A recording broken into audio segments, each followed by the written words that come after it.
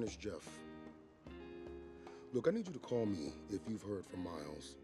He has a he has a soft spot for you, and and we haven't heard from him.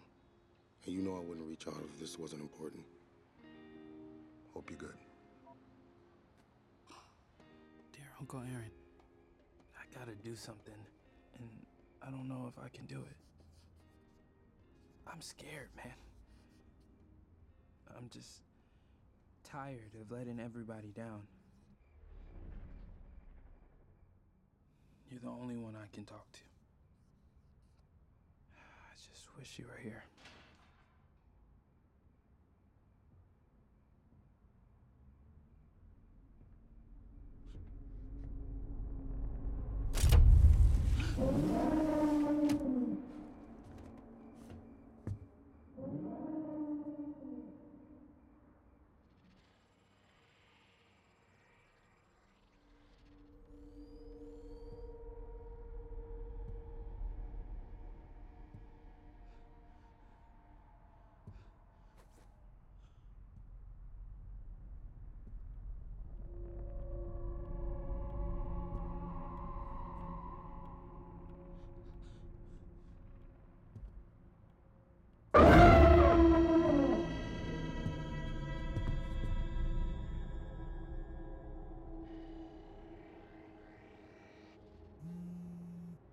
Mr. Fisk.